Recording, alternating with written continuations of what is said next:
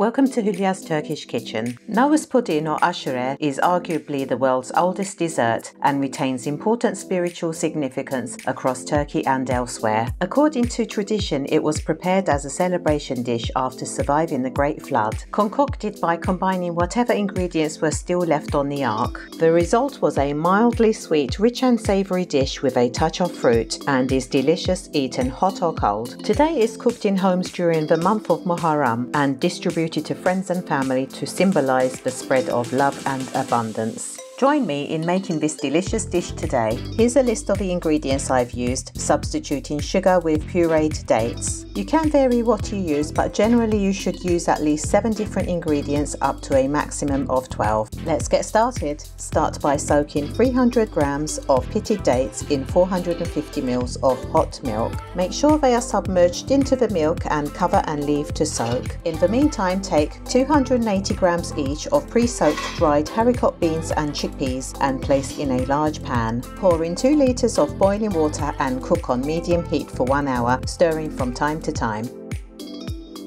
In another pan, place 150 grams of pre-soaked pearl barley. Pour in 2 litres of boiling water and simmer for 1 hour. Replace the discoloured water every 15 minutes with fresh boiling water. The beans, chickpeas and pearl barley must be pre-soaked for at least 8 hours or overnight.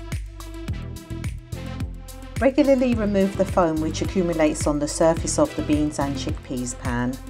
Traditionally, the presence of chickpeas and beans represents the importance of balance. Other options can be used such as lentils and rice, but these are the most popular. Keep stirring from time to time and keep the heat on medium to low.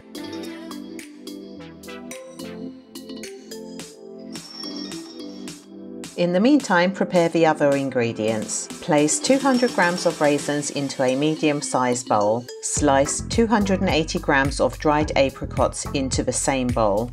Pour boiling water to cover.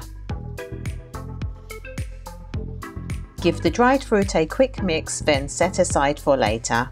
Take 100 grams of almonds, this will be used to decorate the dish at the end. Again soak in boiling water enough to cover. Do the same with 200 grams of cashews. Alternatives which can be used are fresh fruits such as apple or pear, pomegranate, nuts and orange or lemon peel.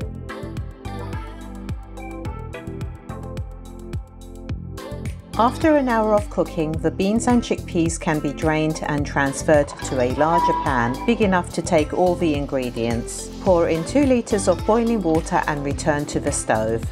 Add the pearl barley with its water. This should be clear as we've been changing it regularly. Continue cooking on low to medium heat for 30 minutes, stirring regularly. In the meantime, blend the milk and dates which we put aside earlier.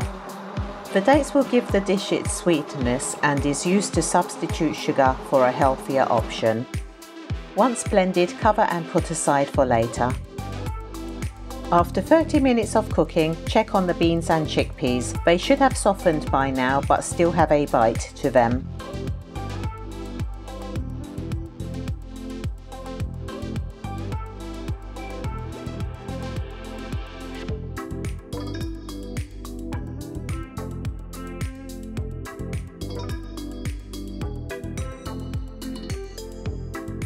Add the soaked fruit to the pan with its water and the soaked cashews. After adding the fruit and nuts, continue cooking for a further 20 minutes, stirring regularly. After 20 minutes, add the milk and date mixture. Mix thoroughly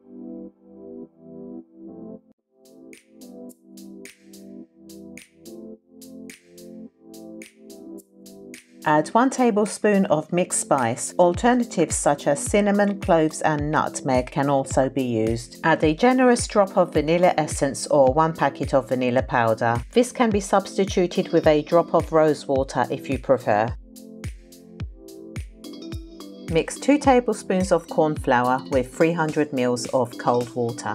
Use a whisk to get rid of any lumps. Then add a few spoonfuls of the hot water from the pan to climatize the corn flour before adding it.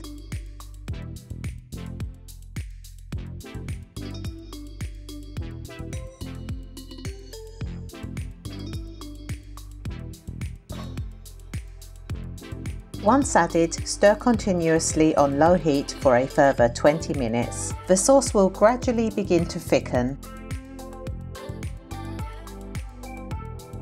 After 20 minutes, add 8 sliced figs to the pan. Gently mix for a few more minutes then take off the heat. The total cooking time for this dish was 2 hours and 15 minutes, but this may vary. The dish is basically ready when the beans and chickpeas are cooked through. Time to prepare the decoration to go on top. Remove the skins off the almonds which should still be soaking in the water. The skins should easily slide off. Extra fruit and nuts as decoration is optional and you can use whichever you prefer. Once all the skins have been removed from the almonds, you can break them into smaller pieces. I will be using the almonds, sliced apricots and figs for my topping. This quantity serves approximately 12 people. You can serve this dish hot or cold. When served hot, aşure has the consistency of porridge and when served cold, it resembles a custard-like texture and is very refreshing. It can also be frozen and defrosted when needed. Afiyet olsun, enjoy! If you enjoyed this video, please like, share and subscribe for more delicious recipes from Hülya's Turkish Kitchen. Links to more of my videos can be found at the end of this video. Thank you for watching, see you next time.